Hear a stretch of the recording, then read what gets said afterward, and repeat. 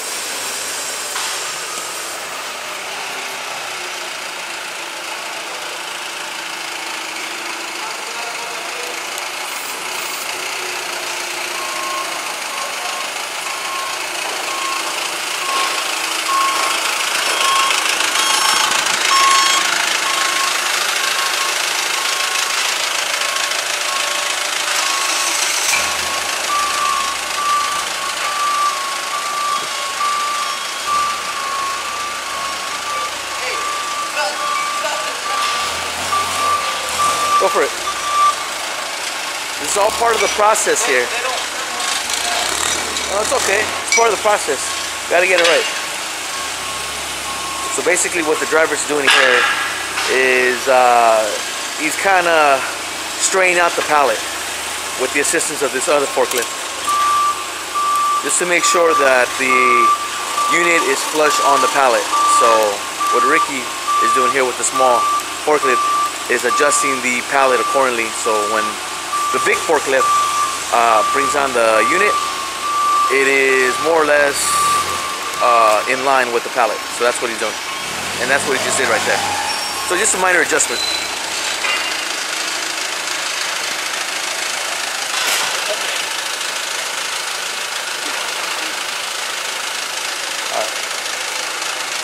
So once the unit is to where the uh, pallet is as far as uh, being aligned, they're gonna use these blocks right here to put them inside those gaps, and basically that will that will be like almost like uh like little mini stands that will be used to keep the unit up, and that is to prevent or that is to give it enough gap for the forks of the pallet to go out. And that's what these blocks are going to be used for. You'll see them right now. Still minor adjustments to be made. So here's Ricky getting those blocks.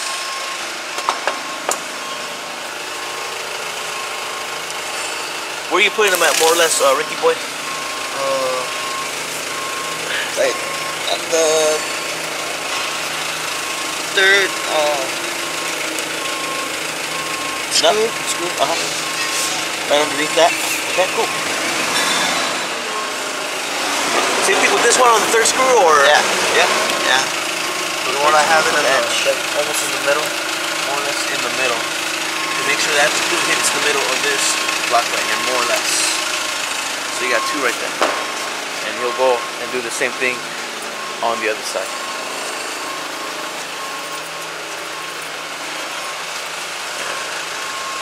He's looking for the third screw from the edge. And he'll place it more or less to where the screw will hit the bottom, the middle of the block. So there you go. There's this little mini stance. There'll be minor adjustments made as well. And that's what they'll be doing.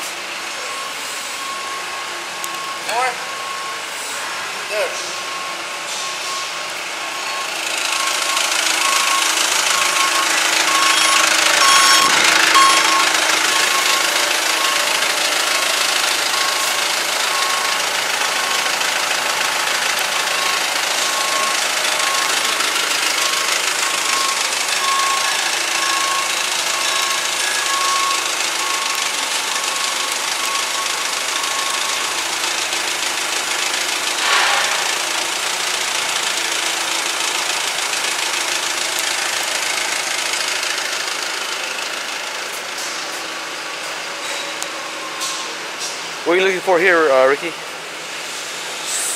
To have enough gap so they don't hit the buttons. Okay. You don't have to know that. Adjust them. So there's gonna be minor adjustments being made until the, he feel he feels free that the unit is like right where it needs to be for it to be set down.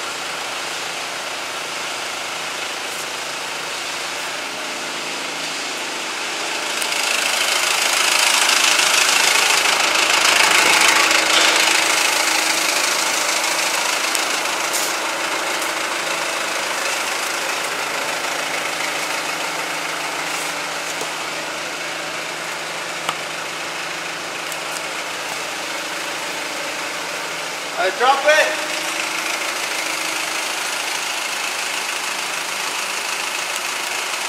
Forward.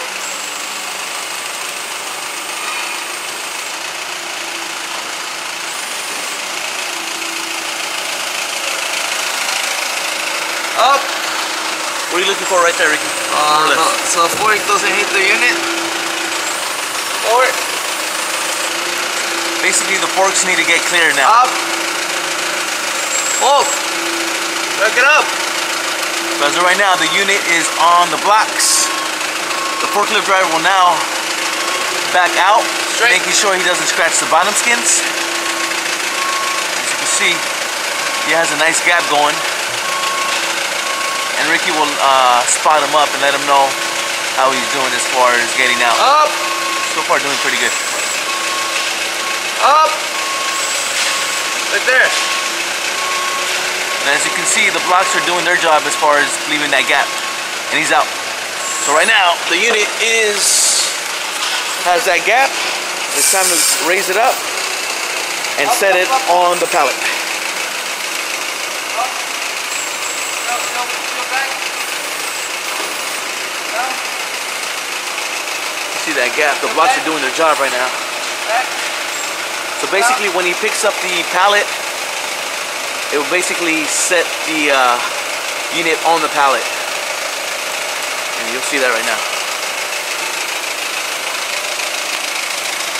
See that gap going on right there with the blocks. Same thing on the other side. All right, lift it up. So he's ready to lift and you'll see how it goes up.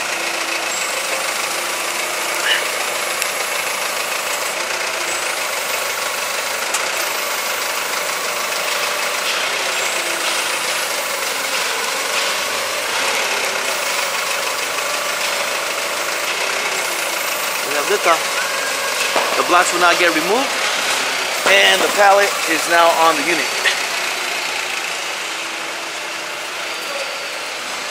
We'll do the same thing, remove these blocks out of the way. Sometimes they do get stuck, but it's just a matter of just using a little bit of force to get them out. There it is. So now the blocks are clear. The unit is now on the pallet. Okay. And the forklift driver will now drop it and there you go. Unit is now on the pallet.